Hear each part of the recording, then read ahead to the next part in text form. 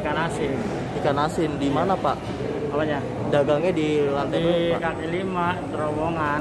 Terowongan. Iya. Terus dapat kabar relokasi ini dari kapan Pak? Dari kemarin udah tiga hari ini sih. Heeh. Udah tiga hari ini. Oh, oh. Dari Rabu ya. Dari mulai Rabu mulai rapat. Nah relokasi ini menurut Bapak gimana Pak? Ya kita mah kagak mau sih. Soalnya kan kalau masuk ke dalam pasti sepi, nggak ada pembeli. Kalau di luar omsetnya Kalau selama di ini luar kan tuang saya kan banyak yang lewat kan cepet. Oh, oh. Kalau masuk ke dalam kan kelamaan. Kadang-kadang waktu pernah digusur masuk ke dalam aja nggak laku dagang. Apalagi di dalam dalam plaza ya Emang niatnya mau ditaruhnya di relokasi di dalam plaza lantai berapa Pak? lantai bawah katanya. Lantai bawah Iya. underground. Kayak lantai bawah dengar-dengar Sewanya naik nggak Pak harganya? nggak tahu Belum tahu. belum Baru tahu soalnya kita juga baru baru ngikut ini Pembahasannya baru pertama ini. iya jadi rapatnya udah tiga hari ini Berapa lama sih dagang udah lama 20 tahunan. Ikan asin aja ikan asin iya sama sama ya sama semua semua sama bakso sama apa. Cuma kan dibagi-bagi gitu jadi nggak sekaligus masuk semua. Nah harapannya Pak jangan direlokasi atau seperti apa? Ya, katanya sih mau di pasarnya mau direnovasi pasar di pusatnya dengar-dengar. Nah harapan Bapak? Harapan kita mah biasa aja tetap di sono relokasi. iya ya berbeda kan mau bayar berapa ya? Tapi mendingan daripada direnovasi mendingan bayar aja. Sebulan berapa? Karena selama ini di sana nggak bayar? Ya bayar. Cuma kan bayar cuma tiga puluh lima ribu per hari. per bulannya. Oh, per per bulan. itu di luar uang kebersihan di dan luar uang ini terus masuk ke dalam itu petugas jadi tiga puluh lima ribu itu se- sebulan.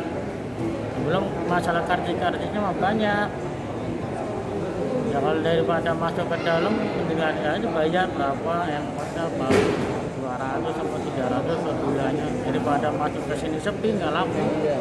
di sana omsetnya per bulan berapa Pak? 35 Omset Bapak yang dapat? ya kalau misalnya ikan asin mah nggak tahu minimal ya tiga setengah Per hari. iya tiga juta setengah per hari Jadi lebih menguntungkan di luar ya Pak Iya. dibanding di dalam ya Pak. daripada di sini gitu. Makasih Pak Yasir.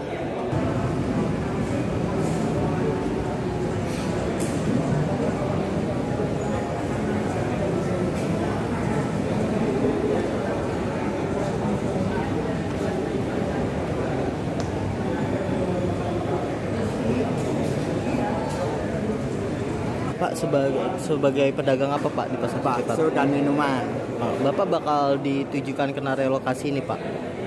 Karena ya sana kan mau direnovasi mas pasarnya Ah, ah. jadi kita akan diminta untuk pindah ke lokasi sekarang Heeh. nah kita ya mengikuti aturan permintaan lah yang penting Ah. kita ditempatkan yang posisi tepat Ah, ah. dan usaha di situ bisa laku Ah, ah. pembeli bisa keluar masuk beli ke tempat kita. Oh, jadi Bapak setuju ya kalau Setuju, bilang Pak. Kapan Pak ingin dipindah secepatnya Pak? saya belum paham persis mas kapan Ah, ah. kapannya kan belum Ah, ah. ada kepastian Ah, saya masih menunggu Oh gitu. menunggu kapan anjuran pindah ke sini ya siap-siap aja saya Heeh. Pak, berarti info ini udah sampai sama Bapak dari kapan? Nah, maaf ya mas, Ah. saya ikut ikut rapat baru sekarang ini karena Ah. kemarin saya pulang kampung karena ada wabah covid ini Ah. sampai dua bulan lebih ya saya baru Ah. ngikutin rapat Ah. baru hari ini. Oh gitu. Ya, Jadi Tapi- Bapak baru tahu hari ini ya? Nah, tapi kemarin anak saya sudah dimintain Ah. kesetujuannya, persiapannya, Ah. anak saya siap. Ah, siap men apa pindah gitu loh di Pemat Oh. udah didata. Heeh. Bapak udah dagang di sini berapa lama Pak? Saya di pasar Ciputat itu semenjak tahun 2000 mas. Oh dua. 2000.